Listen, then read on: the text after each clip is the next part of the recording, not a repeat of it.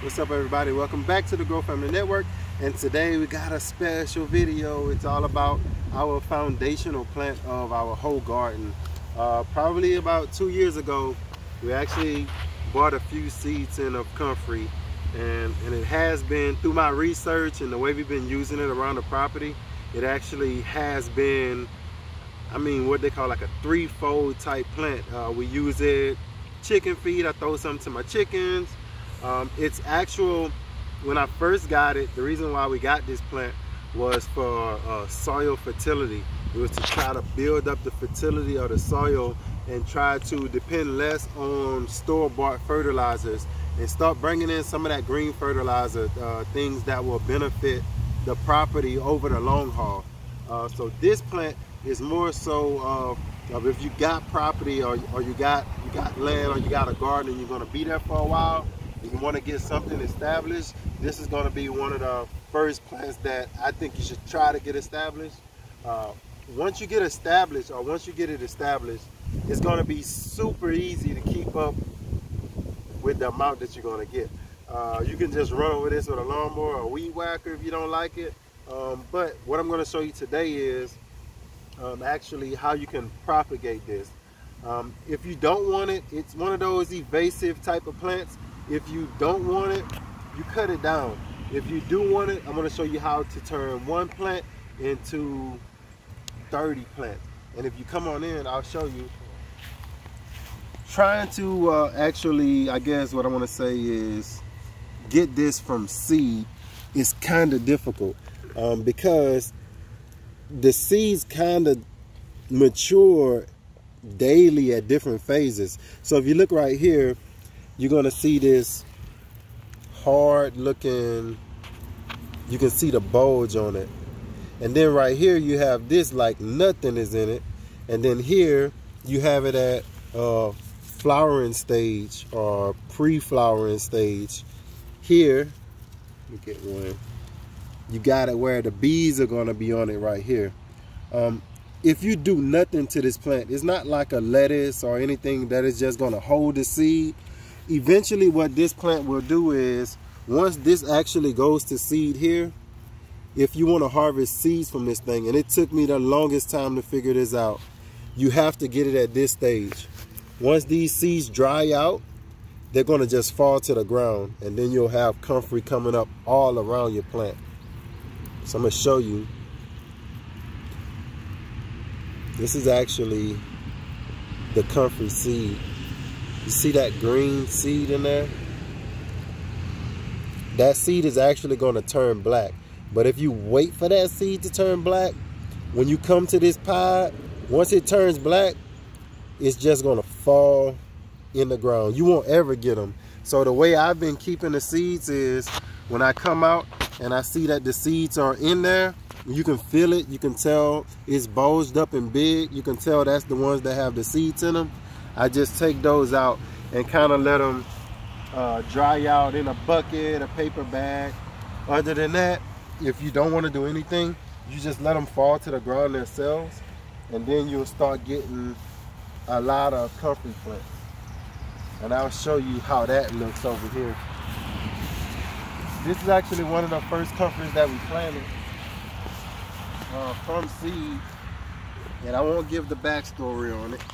Uh, but we had a plum tree here mm -hmm. that actually, when this branch fell from the neighbor's yard, it actually crushed everything we had here. So we kind of had to start over. Um, so what we did here was we just let this grow up and just grow wild. And it started from dropping the seeds it started throwing up all these little small comfrey plants. And I didn't know. I thought they were coming from like uh like root propagation. So I want you to come in here. I'm gonna show you some of the I guess characteristics of this thing. What I'm gonna do is I'm gonna dig this up and show you why this is one powerful plant. So let's get in there. I'm gonna take that loose. I think I got another one on this side. So even as a small plant, let me show you that. As a small plant, I chopped it off. Let me get another one. But this plant has such a large taproot. Let me see if I can not chop this one off.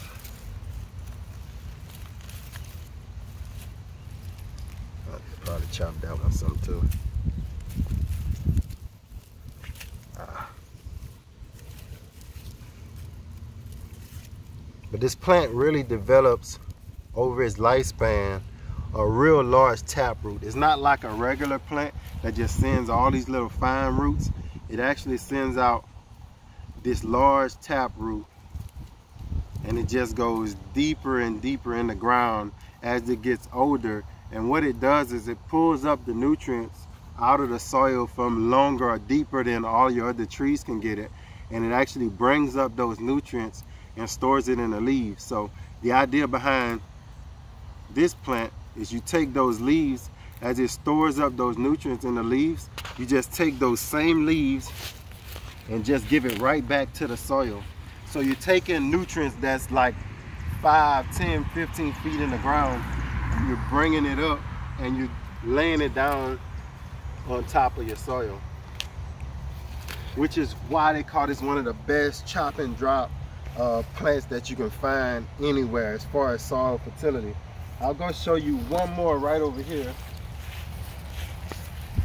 And this is actually one that we really, really, really um, have done a lot of the our own personal research on.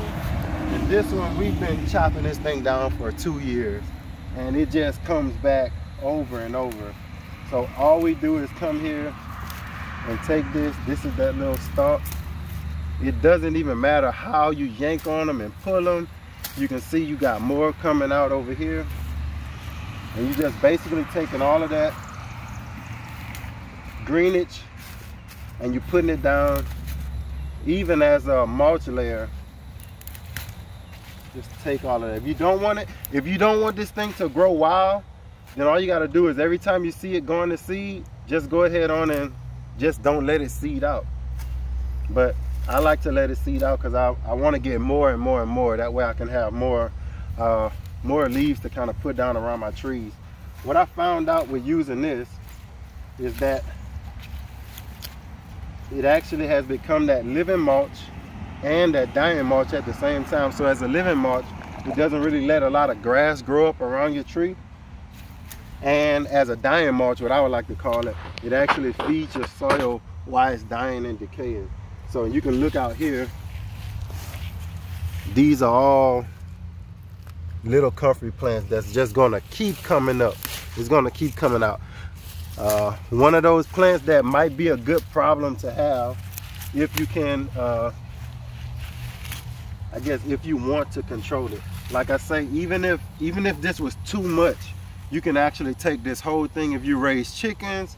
I don't know about rabbits. I haven't really fed this to rabbits before, but I know my chickens love this. Then I kind of, when I saw the chickens eating it, I didn't know if it was good for them.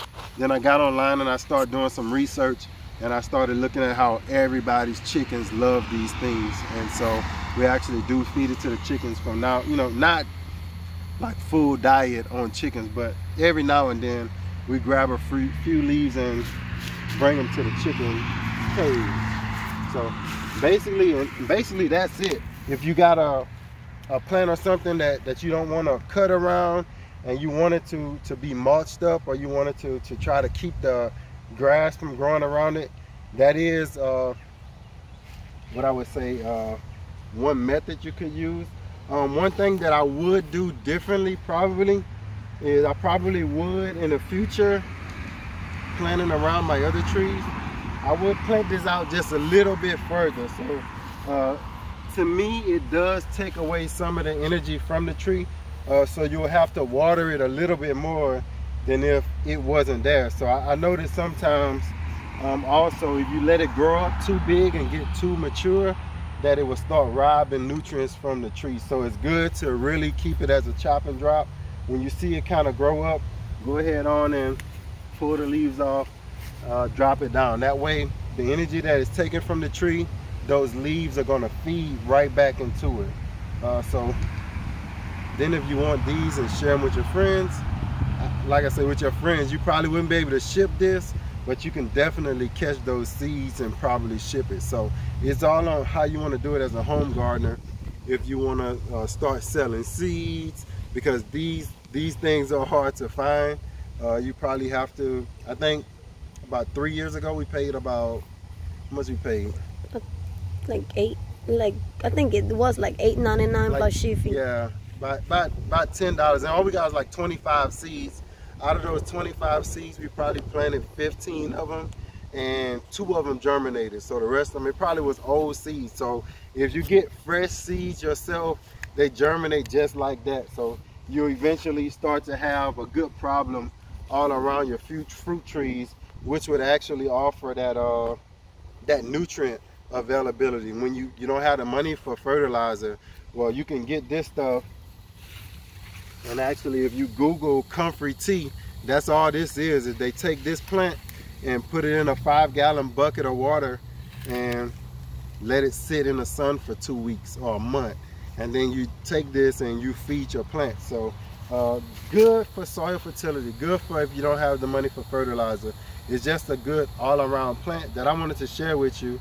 Uh, don't have any seeds available, but the knowledge that I have, I wanted to give it to you. So uh, if you like the comfrey plant or if you was thinking about it or if you just heard about it and you wanted to know a little bit more, then that's pretty much all you need to know about the great comfrey plant. Now there's other uh, medicinal things that I've never taken it internally, so that's something that's totally on your own. I don't want to talk about it on this channel, uh, but you can look at other channels, uh, other sites online, and people have actually used this thing supposedly over the longest period of time as a medicinal herb, as a tea or whatever. I don't do it uh, personally, so I wouldn't lie to you and tell you that I did. I don't. I just feed it to the chickens and use it as, as a green mulch per se. Uh, so that's it for today's episode. Thank you for watching the Grow Family Network. And as always, grow, grow, grow your own fertilizer. Peace.